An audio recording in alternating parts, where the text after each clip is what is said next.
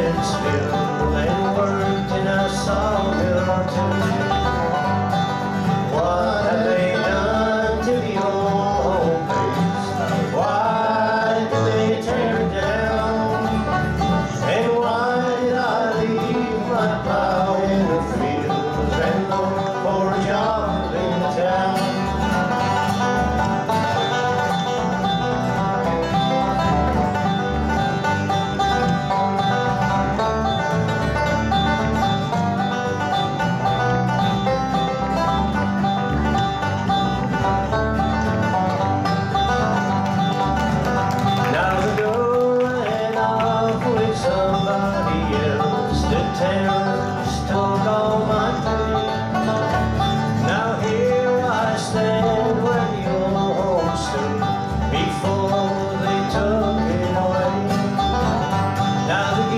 fly south in a cold wind.